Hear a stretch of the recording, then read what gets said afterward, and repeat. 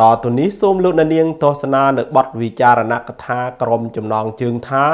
ខ្មែរក្រមលែងបាក់ស្បាត់និងនយោបាយបំបាក់ស្មារតីនៃរបបអាណានិគមវៀតណាម លោកថាច់វឿងនៃសម្លេងកម្ពុជាក្រម VOKK បាននិពន្ធនិងអាននៅអត្ថបទវិចារណកថានេះដូចតទៅកាលពីមុនពលរដ្ឋខ្មែរក្រមពេលដែលបានឮឬក៏បានដឹងថាត្រូវអាជ្ញាធរយួនកោះហៅទៅសួរចម្លើយ ពួកគាត់មានការភ័យខ្លាចព្រួយបារម្ភហូបមិនឆ្ងាញ់គេងមិនលុកបក់មិនលហើយព្រោះមិនដឹងថា ពួកនគរបាលយួននឹងសម្លុតគម្រាមកំហែងនិងធ្វើទុកបុកម្នេញយ៉ាងណាខ្លះមុខលើខ្លួននោះទេប៉ុន្តែនាពេលបច្ចុប្បន្ននេះការកោះហៅទៅសួរចម្លើយវាទៅជារឿងធម្មតារបស់ពលរដ្ឋខ្មែរក្រមទៅហើយ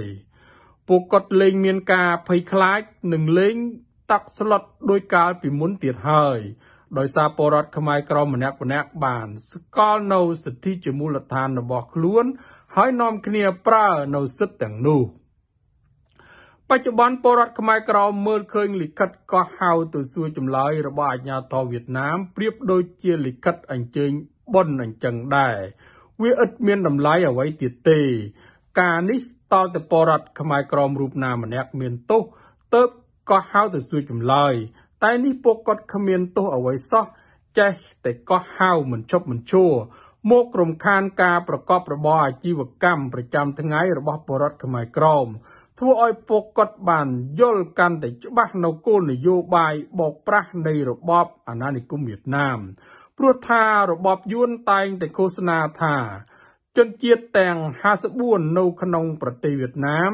គឺជាបងប្អូននឹងគ្នា រស់នៅក្រោមដំបូលផ្ទះតែមួយនិងមានសិទ្ធិសេរីភាពស្មើគ្នា តែពេលខ្មែរក្រមគ្រាន់តែចង់បាន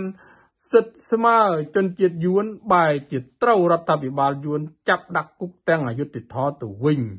ឯណាទៅដែលបាវចនានៃប្រទេសវៀតណាមចែងថាឯករាជ្យសេរីភាពសុភមង្គលនោះ កាលពីថ្ងៃទី17ខែវិច្ឆិកាឆ្នាំ2023អាជ្ញាធរយួនបានកោះហៅបរដ្ឋខ្មែរក្រម3នាក់ទៅសួរចម្លើយដូចជាអ្នកទោសក្នុងនោះមានរូបលោកថៃថាលោកថៃសុកសាននិងលោកថៃញឹកអាជ្ញាធរយួនបានចោទសួរអ្នកខាងលើចំនួន10សំណួរតាក់ទងនឹងការប្រើនៅសិទ្ធិជនជាតិដើមរបស់ពួកគាត់ នៅកម្ពុជាក្រោមដូចជាហាមខ្មែរក្រមមិនអោយប្រើពាក្យថាជនជាតិដើមខ្មែរក្រមនិងសួរថាតើពួកគាត់មានបានតាក់ទងសហព័ន្ធខ្មែរកម្ពុជាក្រមដែលមានមូលដ្ឋាននៅបរទេសដែរឬទេជាដើម ការលើកឡើងរបស់នគរបាលវៀតណាមបែបនេះបង្ហាញឲ្យឃើញថាពួកគេមានចេតនាមិនទទួលស្គាល់ការពិតនៃប្រវត្តិសាស្ត្រថា ខ្មែរក្រមជាជនជាតិដើម នៃដែនដីកម្ពុជាក្រមសម័យនេះគ្មានអ្វីអាចលាក់បាំងការពិតបានទៀតទេ ពិភពលោកជាពិសេសខ្មែរក្រមខ្លួនឯងផ្ទាល់ពួកគាត់បាន ដឹងច្បាស់ហើយថា ខ្មែរក្រមជាជនជាតិដើម នៃដែនដីកម្ពុជាក្រមយ៉ាងពិតប្រាកដលោកតែថាជាអ្នកដែលត្រូវនគរបាលយួនហៅទៅសួរចម្លើយបានឆ្លើយតបថា ប្រសិនបើអាជ្ញាធរវៀតណាម មិនចង់ឲ្យប្រើពាក្យថាជនជាតិដើមខ្មែរក្រមសូមឲ្យរដ្ឋាភិបាលវៀតណាមចេញសេចក្តីប្រកាសជាផ្លូវការឬក៏រដ្ឋសភាបង្កើតជាច្បាប់ហាមមិនឲ្យប្រើពាក្យនេះមក គឺមិនអាចមកនិយាយមកទេបានឡើយតែទោះបីរដ្ឋាភិបាលវៀតណាមចេញសេចក្តីប្រកាសឬច្បាប់ហាម5ក៏ដោយក៏វាគ្មាន ប្រសិទ្ធភាពក្នុងការលុបបំបាត់ប្រវត្តិសាស្ត្រខ្មែរ ថាខ្មែរក្រមជាជនជាតិដើមនៃដែនដីកម្ពុជាក្រមបានដែរព្រោះថាពលរដ្ឋខ្មែរក្រមបានរស់នៅលើទឹកដីកម្ពុជាក្រម តាំងពីកកើតផែនដីនេះមកម្លេះចំណែកជនជាតិយួនឬក៏គិញវិញក្រាន់តែជាតិក្រាន់តែជាជាតិសាសន៍មួយ ដែលបាននិរទេសខ្លួននឹងរត់ចូលស្រុក ពីហាណោយមករស់នៅអាស្រ័យខ្មែរក្រមជាម្ចាស់ស្រុកនាពេលថ្មីថ្មីនេះតែប៉ុណ្ណោះ ចំណែកសំណួរដែលនគរបាលវៀតណាមសួរពាក់ព័ន្ធនឹងសហព័ន្ធខ្មែរកម្ពុជាក្រោមនោះ បង្ហាញឲ្យឃើញនៅចំណុចខ្សោយនៃរបបអាណានិគមវៀតណាមថា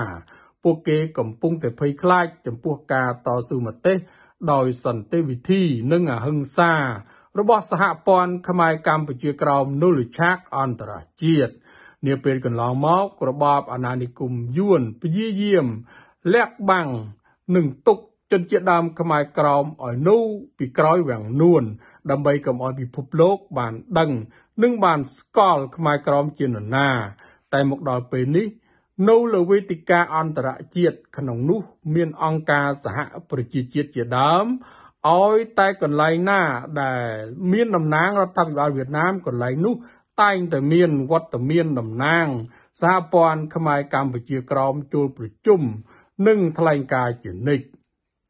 សហព័ន្ធខ្មែរកម្ពុជាក្រមបានលាតត្រដាងនិងរាយការណ៍គ្រប់ករណីទាំងអស់ឲ្យពិភពលោកបានដឹងអំពីរបបអាណានិគមវៀតណាម បានរំលាយបានរំលោភសិទ្ធិមនុស្សនិងជិះជាន់